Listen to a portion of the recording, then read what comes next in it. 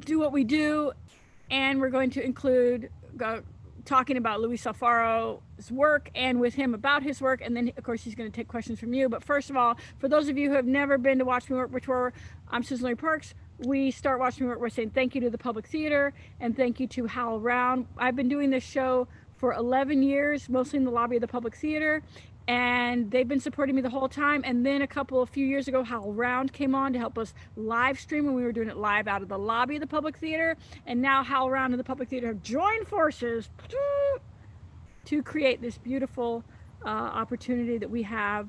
Um, we were doing it every day, and now we're doing it four days a week um, because we love you and we want to provide support, encouragement, and you know sometimes some ass kicking to help you to help you uh, just be uh, every day so um so what we're gonna do is we work for 20 minutes and then we talk to Luis Alfaro about his work. But first, but first, you must hear. If you don't know, or if you like are, you know, having a, a brain fart moment and you don't know a lot about Luis Alfaro, I'm gonna tell you. I'm gonna tell you. Um, Luis Alfaro is a Chicano writer known for his work in poetry, in theater. He writes also short stories. He's a performer and he's a journalist, right? He spent six years as the playwright in residence at the Oregon Shakespeare Festival from 2013 to 2019. He was a member of the Playwrights Ensemble at Chicago's Victory Gardens Theater from 2013 through 2020. I guess it just wrapped up, Luis, right? Um, he's the recipient of a MacArthur Genius Award, a MacArthur Fellowship Award, which means he's superiorly awesome and intelligent and genius-like, genius-ish. Um, and oh, and also, oh, last year was a big year for him. Last year he was awarded the PEN America Laura Pels International Foundation Theater Award. Okay, and he was awarded the United States Artist Fellowship, and he was awarded the Ford Foundation's Art for Change Fellowship. So he was, he was, he is very much happening. His plays and performances include Electricidad, Oedipus El Rey, Mojada, Delano, and Body of Faith, just to mention a few. He has spent, Luis has spent over two decades in the Los Angeles poetry community, touring North and Latin America mm. as a performance artist. Also, he's a righteous, righteous brother. Um, and we're thrilled, thrilled, thrilled to have him. And we always have good conversations. I'm looking to forward to working with you, Luis, and all of our Watch Me Work community. We're going to work for 20 minutes together. Then we're going to talk to Luis about what he's working on and some of his specific concerns. And then I'll get out of the way, and Luis will take questions about your work and your creative process from all y'all. Okay, so if you want to get in touch, if you have a question, Audrey's going to tell us how to get in touch. Thanks, SLP. Thanks, Luis. So nice to see you um, both. Um, so if you have a question and you're inside of the Zoom, all you need to do is click on the raise your hand button, likely in a participant tab at the bottom of your screen on a laptop at the top if you're on an iPad or a tablet. And if you're watching on howlround.tv, you can tweet at us at, at watchmeworkslp with the hashtag howlround, H-O-W-L-R-O-U-N-D. Um, and you can also tweet at Public Theater NY or write to us in our Instagram. And those are all the ways. All the ways lead to the sea. All the ways lead to the sea. Here we go. We got 20 minutes. Ready, Audrey? And, and ready, and there you go.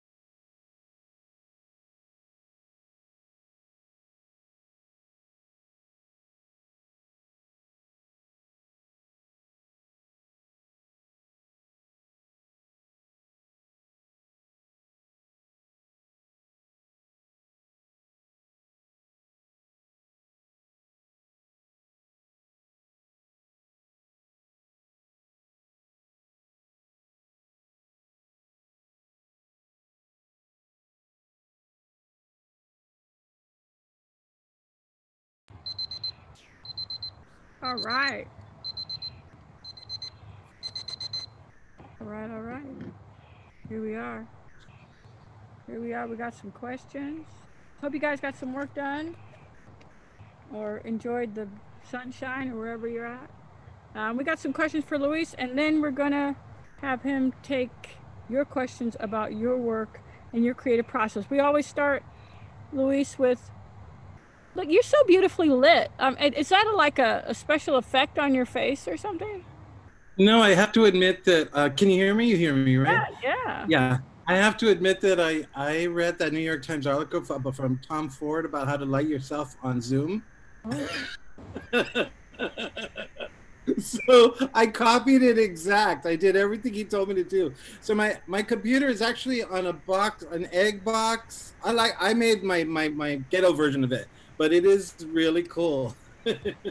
wow, it looks yeah, it's like it's gorgeous. It's like this, and and and you, are you in a dark room or something? I mean, what is this? I am in my bedroom in Koreatown. Uh-huh. and it's kind of lit but the, he's right about like if you get one light to kind of you know be your primary light he had a whole list of look it up it's so good that's amazing i mean I, I know i feel so like under prepared sitting in the sun i thought that could be my light well.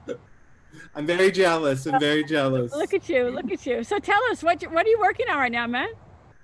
Well, I'm working on a couple of things. I mean, maybe my biggest thing right now is I'm doing a play for a company called Bob Baker Marionette Studio, oh. the longest running puppet company in the, the United States. Uh-huh. And I thought I'd tell you a very quick little story oh. because it's typical of how I work. So um, they invited me to come see their show. They do an hour show it was about 150 uh, kindergarten to second grade kids. Uh-huh. And so, you know, it's like they sit on the floor. It is amazing. Bob Baker himself, who passed away, was a, a really kind of extraordinary guy. And the whole show is uh, a soundtrack, kind of like from the 70s. So, like one of there's a cat who performs, and it's Liza Minnelli singing. so you can just imagine. And then there's a clown that comes out and he's on a little stage. Oh. The stage is on a turntable, it turns, and he's at his dressing table and he sings Send in the Clowns. I mean, it is so corny, right? And so beautiful. So kids are getting one thing, adults are getting another. So after the show, they said, um, can you come backstage? We're going to show you where we work and the whole thing. And I went, and then they said, we have a little documentary we want to show you. And the documentary was uh, film, those old film projectors from school. Remember those with the reel? Yeah. And uh, so they put on the film, and it was a documentary about two kids from LA, urban LA, oh. a little girl and a little boy, who had extreme stutters. Oh. And these kids would go every week to the Bob Baker Marionette Studio and talk to the puppets, and that is how they were cured of their stuttering. So wow. as we're watching the documentary, the little boy starts talking. Then under, you know, they have a little title for the boy, and it says Luis Alfaro. And I was like, oh my god! And he said, "Is that you?" And it, uh, I only recognize myself because my mother used to make my clothes, and she used to make me these cool Nehru collar shirts. I was super into the Beatles, and um, I was it was me, and I was the little kid who had the extreme stutter. And so they said, "You have to do this play," and I was like, "Absolutely." So I was thinking about that because wow. I had just gone to a TCG conference where Andre de Shields had spoken, and he said. Um, I, one of the wish I, one of the things I wish I knew earlier was not every job that comes your way is your job is meant for you, you know. Uh-huh. But this felt like this was really, really meant for me, right? It sounds fantastic. It sounds fantastic. Wow. Yeah. So how um, so did you write a? You're writing a play about a little puppet, a little girl puppet, a little Latina puppet that stutters was wow. a, and it's really getting in the way of her performance. Wow. so yeah, so you know, I think sometimes these jobs come, and it's so interesting because I am one of those people who's been really sheltering in place religiously. I live in Koreatown, which is the densest neighborhood in Los Angeles. Oh, so you know, I really have to take care of myself, and um, I'm I that piece is really about isolation, right? It's about not not being able to speak, not being able to communicate and then I'm writing a piece about a seminary. So I think it's very interesting that these pieces come to us when they come to us, right? And uh-huh. they come to us because of where we're at in our lives. So um, yeah, it's been very it's been very moving to write. It feels like they're coming along very easily, partly because I'm feeling the moment, right, and I'm feeling my way through the moment. Uh huh. Uh huh. What about that advice? Like, not all work is yours that comes to you. Could, re- could you repeat that again? That's really, really Sure, that not every job, not every job that came my way was was meant for me. And I really think since sometimes you know somebody will approach you about something, you'll think, "Oh my God, I really want this commission," but the truth is, it's not really yours, right? So a lot of times, I've been in really beautiful situations where I'll say, um, "Yeah, it's just not the thing that's right for me, but I know who it's right for." Right, Uh-huh. and I want to, you know, I want to connect you. So I think a lot of times we are the connective tissue through our industry, right? Uh, and uh, and that we create a bigger, bigger community because the, every job is, uh, you know, you can tell when it's your job. You know, I can tell when I'm super excited and super passionate, and that first draft just shoots out of you, right? And then sometimes you're like, hmm, I'm for hire right now, and, I'm, and I'm like struggling through this, right? I hear you. I hear you. Wow, that's really no, that's really really important for folks to hear, and even for for me to hear. It's really helpful. So you're an activist, also, also, and Mm. how does your activism inform your work, if it does? How so? Oh yeah, absolutely. Yeah, I mean, I think you know, abs- uh, activism is about uh, uh, having a point of view, right? It's about obsession in some ways for me. It's about righting a wrong. It's about engaging in something that I know I should be engaged with. So Uh-huh. for me, um, I find that you know I use this art this artist citizen term a lot, and I really believe it. I'm an artist, but I'm really also a citizen. I'm very involved in my community. I'm very involved in my communities, right? And um, I think that this moment is a really good uh, example of it. You know, I've been very involved in, you know, conferences and these Zoom calls and all that, but also, you know, just calling theaters out and having conversations and working with artistic directors and talking about the moment and what we're going to do about it and how we're going to move through it.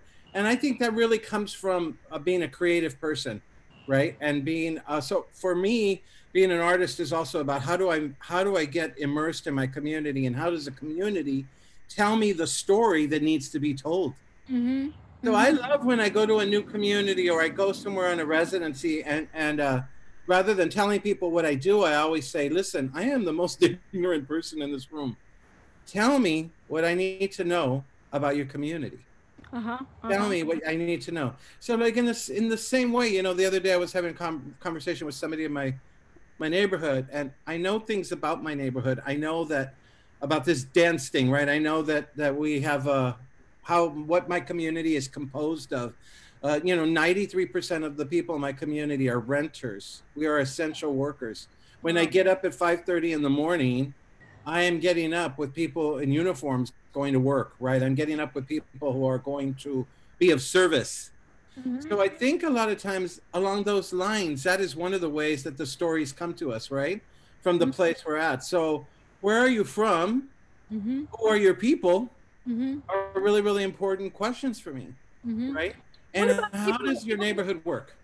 Oh, I'm sorry. I was I was jumping. No, that's okay. How does your neighborhood work? How does your neighborhood work? Right. Huh. Huh. What about people who say like, "Hey, it's it's it's enough for me just to get my plays done." I mean, I don't need a whole nother. What do- what do you say to that? I mean, is that is that valid to your mind?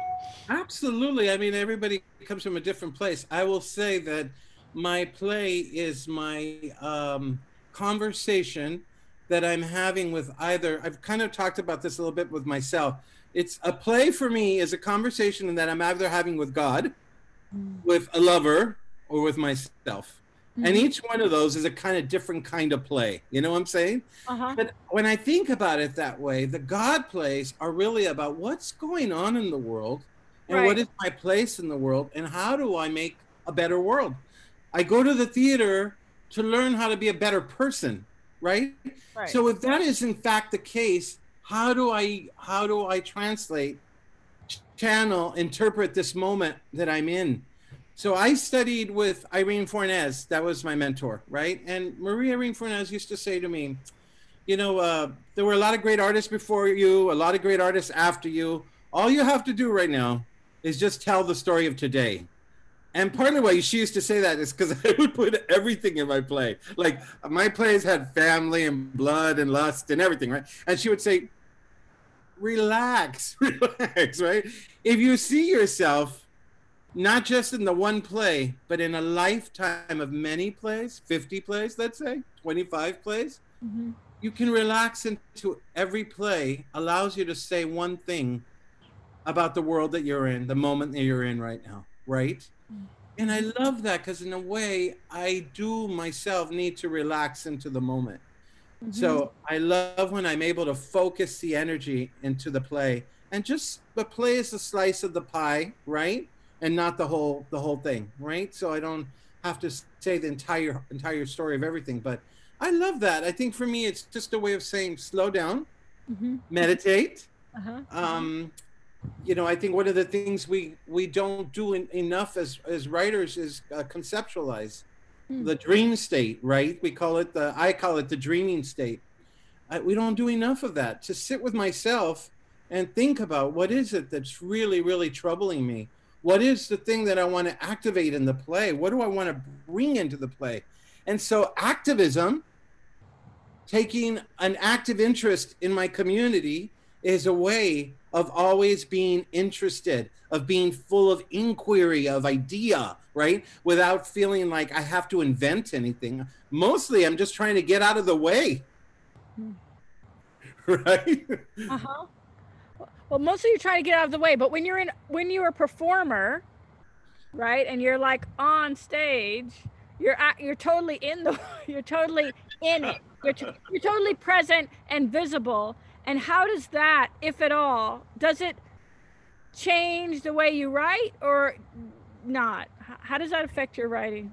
Sure. I mean, there's a couple of things here that I think are really interesting about having done performance and then also writing. One is that when I get ready to do performance, I always think about tennis players. You know how they talk to themselves before they before they get into that match. Huh? I do this thing where I say to myself, "Just tell the truth. Get out of the way. Just tell the truth. You know what you have to do just get out of the way, right? So really, I kind of relax into a performance. The other thing I, I believe very strongly about performance, and I learned this from another mentor, Morgan Jenness, oh, who yeah. who said to me, you know, um, I needed to focus more on the 3D, the dimension of space, to think about theater in terms of of um, the dynamics of space. And I think as a performer, you're trying to fill space. So I studied a lot of performance art, and we had this concept called deliberation. I love it. In the act of doing nothing, you are always doing something. In the act of doing nothing, you're always doing something. You're already performing. And the other the other idea for, for me about performance was uh, what is the space that needs you the most? Move towards the space that needs you the most. Move towards the character that needs you the most, right? So, in a way, those are concepts about performance that I love bringing into writing, right? What needs me the most right now? What in my story is not dynamic enough? What is not being filled in? Where is that corner? Where is that space that that has energy that I'm not taking advantage of? That's interesting, right? Because I think for me, I think that's the way I work. I get up in the morning, I think, what is the space that needs me the most? How do I fill that space today? It's very Pentecostal too. So I was raised very religious. And, uh, you know, one of the Protestant ideas is, right, service. But I love that. How can I be of service today to my own work?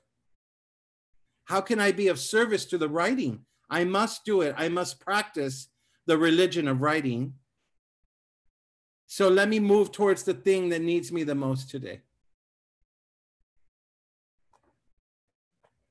I'm talking. What do you do when it's hard to practice the religion of, of writing? I mean, it's. Yeah, I mean, some days I teach, so you know, teaching is hard because it's hard to teach and write. Mm-hmm. Other, I'm looking at Lisa Damour, so I'm like, oh my god, you know, I just, my god, my heart goes out to you know those of us that are in the academy, right? Because it's hard. I think one of the things that I've gotten very good about is um, I steal a lot of exercises. I have this crazy little exercise in the morning. I call it my my aerobics of the morning. I have a little Vons Market box, recipe boxes, and I have an object, an action, and a line. And every morning I get up and I pull out an object, I Mm-hmm. pull out an action, and I pull out a line, and I write a, at least a 10, you know, 10 exchange little scene Mhm. just to get me writing, right? Just to get me in the movement of writing. So I love things like that. I love the the research of writing a play. So I think a lot of times people will say, "Well, you haven't written in a long time," and I'll say, "Well, actually, I feel like all I'm doing is writing. I'm getting in pregnant with the possibility of this play. All I'm doing is researching, right?" So Uh-huh. I love I love the details and the facts. You know, I'm spending a lot of time right now just thinking about seminaries and how they work and why is a Catholic Church getting rid of so many and you know, I'm reading all the articles. That is essential to the writing. That is writing. Uh-huh. I keep looking at you like like I keep looking at you for permission. I'm not- no, I'm I'm smiling and I love you. Um, I I, I don't want to get into the conversation about that right now. yeah, yeah. yeah. I, I want to take you out for a virtual glass of wine and talk about that. But um, I feel like taking some questions for our from our fabulous group here. Go of ahead. course. Anybody have any questions for Luis? Hey, team. Does anybody have? Oh, we got a question. All right. Russell, you are up first. Are you there? Yes, right here. Uh, great to be here. Great to meet you. Um, a big note that I've been getting recently has been some of my secondary uh, characters feel like they're only really there to serve uh, the protagonist. I was wondering if you could share some insight or uh, techniques to really like flesh out those secondary characters and make them feel fuller and three dimensional. I love this question because it's something I wrestle with a lot myself. I will say that I subscribe to, um, I have this book, this little thin book that I would suggest everybody get called The Presence of the Actor by Joe Chaikin, Joseph Chaikin. And I love it because inside of this book, he has seven questions. And the questions are about how actors create a character. For me, I use them for how I create a character in a play. And the first question for me is so beautiful. What is the one thing that people cannot see when they look at you? What is the one thing that people cannot see when they look at you? Is there a part of you that has not lived yet? What would make that part live? I, one, what, how wonderful and active are these questions for characters, right? It's in a way you're creating backstory, you're creating nuance of character, you're creating the logic um, that manifests into a character's action. Does that make sense? Oh, so yeah. that the character is not just there to serve, but the character is a fully fleshed, interesting person that is contributing to the play in an essential way. So I love get that book because that book is so good, right? Uh, what's the, what was the title again? it's called The Presence of the Actor, Joseph Chaikin. I wish we could go on and do a whole Chaikin because um, he was extraordinary. He was really extraordinary. Yeah. And uh, and the other thing I the other exercise I use a lot is um, Irene Fornes taught me an exercise which was take your character's age and cut it in half. Look at that half age. Something happened to that character at that age that determines how they how they move through the world. And so your characters are acting a certain way because they live a certain way or they see the world a certain way. Oh, And so all of a sudden it makes your characters opinionated, right? And we need opinions on stage. we need a lot of opinions. We need people to try to interrupt the flow of the play. We want the play to have that kind of energy, right? The energy that is unpredictable, that creates wonderful, wonderful rhythms, right? In the way people respond to one another. oh my gosh, that's so cool. I never thought about that. Oh, wow, that's Beautiful awesome. to meet you. Beautiful to meet you. Thank Thank you. you. Thank you, Russell. Um, all right. We don't have another question quite yet, but I bet we will if we wait momentarily. What do you like to write? Uh, do you have a favorite medium? I mean, you write short stories, you write plays, you write lots of things. What's your favorite favorite kind of thing to write? Do you have one? Well, it's funny. I think that the community I loved the most was the poetry community because there was no money involved, and you know, you, it was really a community, right? Um, but I think I found my my alchemy was really in playwriting. I think it took a long time to find that. I studied with Irene for a long time, and also, you know, Paula Vogel used to come to LA every year, and so like Paula and there's been a lot of people in my life that uh, have helped me make sense of writing. But I think I find my strength, or at least I find my passion in playwriting. I wrote a screenplay that took me two years, and uh, it was a whole, you know, it was interesting to learn how to write screenplays. And I was very happy, you know, and, and it got made into a film and the whole bit. And every time I get a check, I still get checks for it, which is amazing, right? And every time I get a check, I think, wow, I got to go back to that form. But it's not my passion. I would say that theater is where I find my full expression. I do Mm. have um I, I if there's no other question, I do have Here, a, we got we have a couple questions if you if oh, you okay, go for it, go yeah. for it. yeah. Um, all right, Carla, you are up next. Hello. Hi, Luis. Hi, everybody. Hi. Hi. Nice to meet you. Um, You I too. apologize. There's music in the background because I'm from I'm in Washington Heights and the party's outside, um, and I live on the first floor. Um, but I guess my question is, I've seen I've seen Mojada and um, uh, Oedipus el Rey, um, and I guess my question is, I'm writing something that includes a bit of magic and sort of mysticism and stuff like that. And so I'm wondering, I know it probably includes some research, but I'm wondering how much do you uh, make up or extend the bounds of like the Come magic in. that you're with? Yeah. Okay, so I have to just say something really quick. I'm gonna I'm gonna throw this at Suzan-Lori for a second because my delivery guy is here and he's at the door. So I'm gonna oh. run really fast. I'll be right back. Oh. Laura, Suzan-Lori, take it. oh, my my I'm in a van until he comes back because That's okay. because it, it's a question for him. What I want to know is what he's getting. You know, like who mm. is like like is it like takeout? Is it something from Yeah. the evil empire Amazon? Or is it ha ha? You see? I just Oh my vamped. I just vamped. You gotta answer this question because this is a question for you, man. I love this. Yes, I, I feel that um, for me the the classics are really just parameter. I, I really don't have it. I don't have a lot of loyalty to them. For me, is I use the classic as a way of learning how to be a better writer because they're so beautifully put together. But the other thing is they Mm. ask really big questions, and sometimes I think as a Chicano, I will I will admit that sometimes I get lost in the smaller questions of community. So how do I keep asking the big questions about my identity, about who we are as a people, about um, what we're trying to say at this moment in our culture, right? So I think you know Mm, using yeah. using the classics that way is really really important for me. I love being inspired by um, the idea that I don't have to stay in any one box. So going to the Greek Mm. really takes me outside of myself, right? Going to the Greeks is as far away from me as possible. So that's part of the reason why I have been using it. But they've all come out of very specific community experiences. So Electricidad was because I, I was doing a project with uh, teen felons. Oedipus was because I did a residency at Kern State Prison. And Mojada was because I, you know, I was writing about the undocumented in Daly City in, in near San Francisco.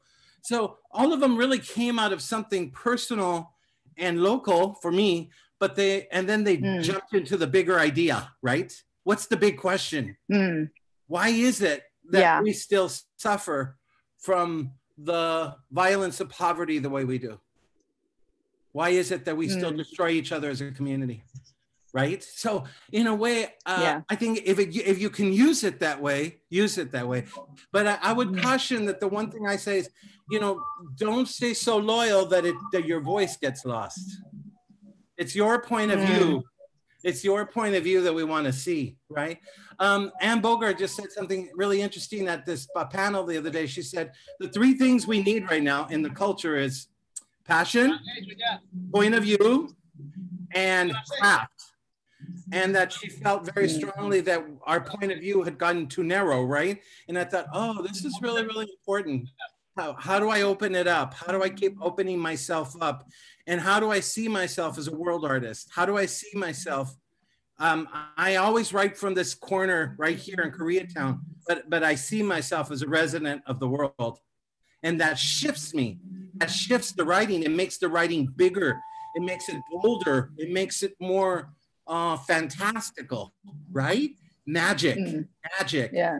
So the magic then makes sense. Does that make sense? Like on my magic, Yeah. I'm doing this play right now at the seminary.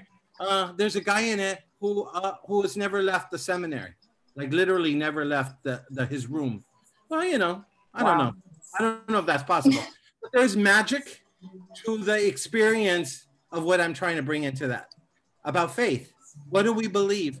And I think that's such a joyful thing to bring to the theater. What do we believe when we walk into this place that we're all going to share, this religious site that we're all going to, this, this spiritual experience we're going to have called theater, right? How much are we willing to Yeah. join it? Does that help at all? Yeah. Yeah. I, it does. It does. It's because I'm. I think it's because the the thing I'm writing, I the magic, I'm like filling with it, but um, it's not connecting with the real characters, and so it's great that. I guess for me, it's. I guess I started backwards. I started thinking about the magic and not so much about the character and how that Yeah, relates so- to the real world. So this Yeah. is something I think about Mhm. a lot, and I wonder, you know, this is something I've always wanted to ask Suzan-Lori.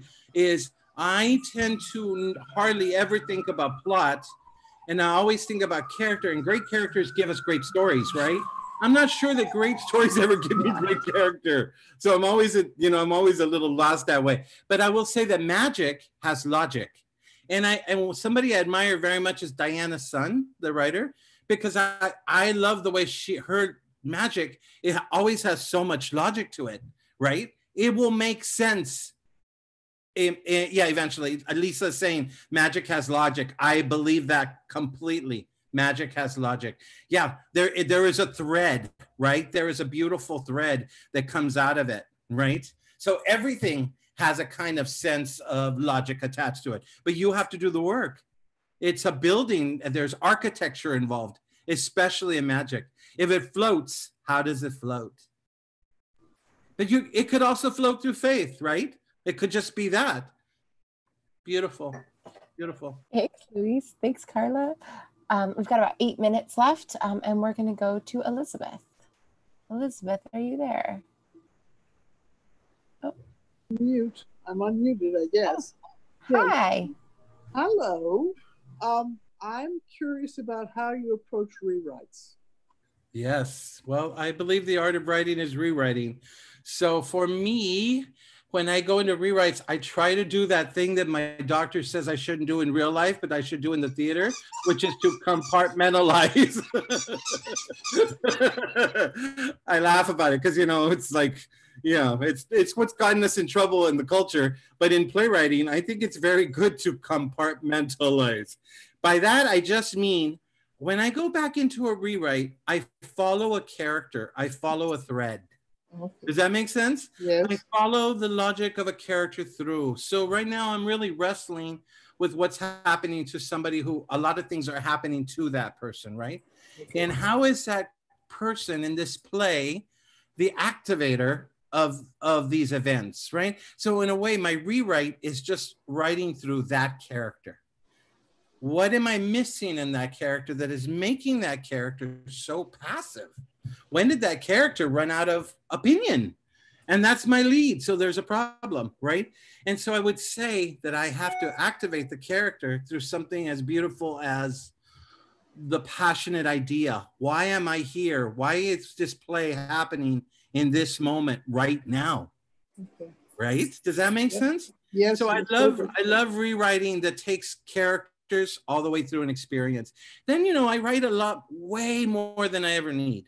But I feel that then I really, really understand the character and the authenticity of that character because I've really invested in um, who, who they are in the world and what they believe about the world.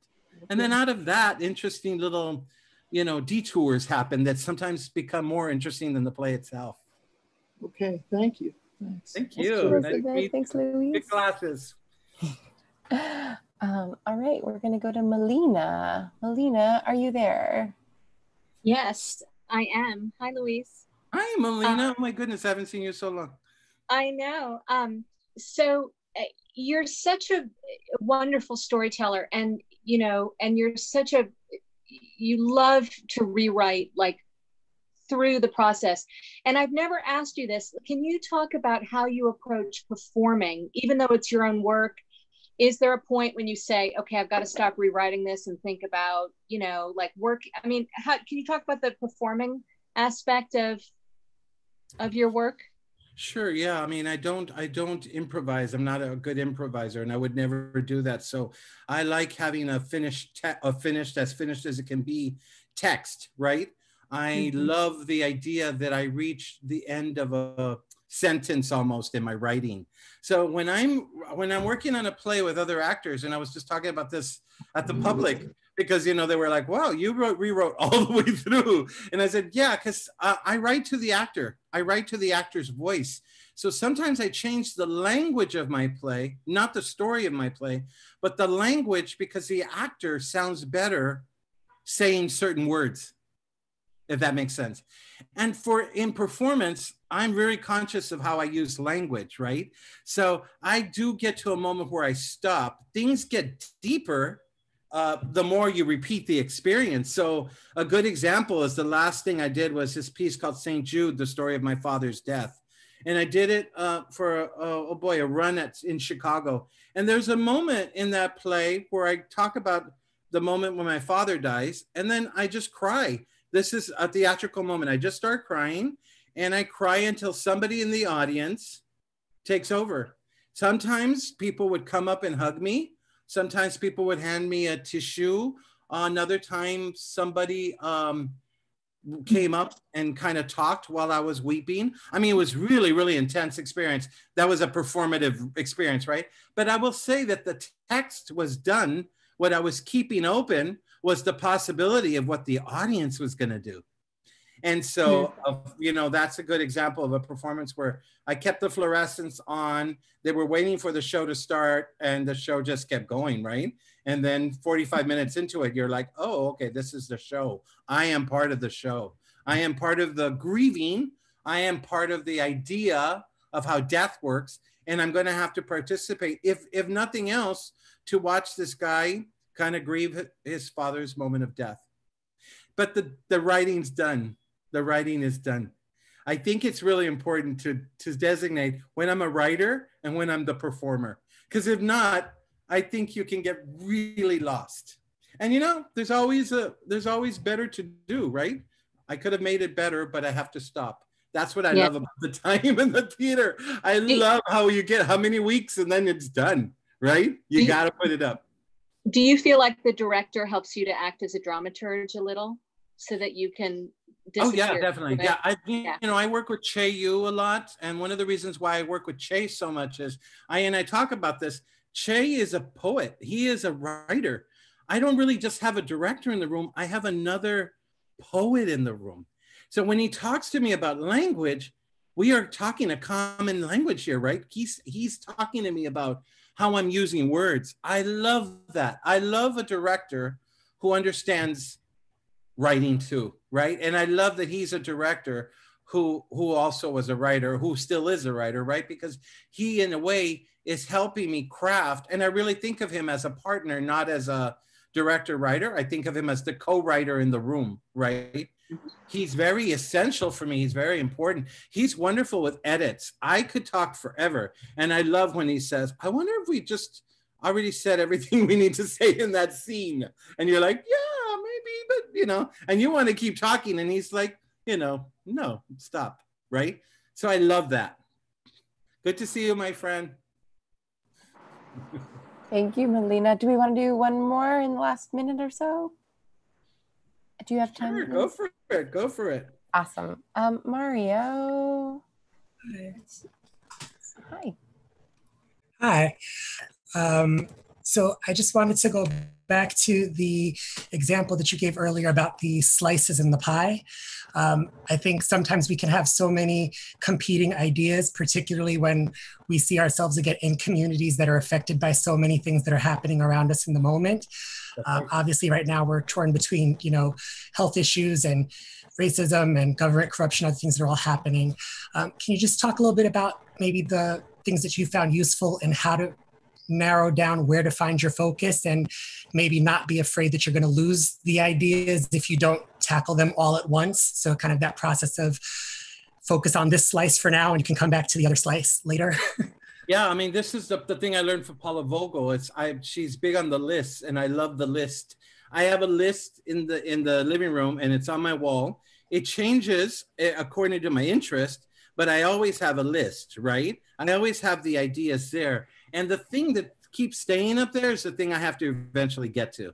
And there's something that keeps sort of winning in the list, which is the thing that I really need to do. So, ver- so this is a really important uh, note. The things that I want to do versus the things that I need to do. And I think when you you say like what's calling you are the elements of our community. What do you want to deal with, but what do you need to deal with? Because that's very different. That's a different kind of writing. And I will say that as someone who used to throw everything in the pot, I find that um, getting clear and a beautiful crystallized uh, piece about one idea is a wonderful way of working, right? You get deep inside of it. It's the difference between the one night stand and the getting married, right? Passion grows passion grows in a play. And so if you don't commit to the passion of the play you never really know the play. And i think that's really important is i want to get deep inside of that play. I want to marry it and i want to have kids with it and i want to have a life with that play right? Important. Exactly. Thank you so much. What a pleasure to meet you. Thank you. Thanks mario. Thanks luis. It's 602 wow that was fast. yeah. So quickly, thank you, thank you, you guys, for coming today. Thank you, Luis Alfaro, for being a righteous brother, a great writer, a national treasure, and dropping all these pearls of wisdom on us. Um, I saw a lot of people taking notes, so uh, we really, really, really appreciate uh, the wisdom that you've shared with us today and every day through your work. So, and you're welcome to come back anytime you want to hang out with us some more and share some more with us. We would love, love, love to have you. Um, Thank you. I would love it. And and just to say, I, I uplift you and say I wouldn't be here if it wasn't for you. So there you go. Thank you. Yeah. Oh, you're such a sweetheart. Well, we'll be back tomorrow. We'll be back tomorrow. As a reminder, please sign up by 3 p.m. Eastern time every day uh, on Public Theater website, and I'll send you a link between 3 p.m. and 4:30 p.m. Eastern. Yeah. Thanks, everyone. Thanks, Luis. Thanks, Thank SL. You. Love you. Bye. Love you. Bye.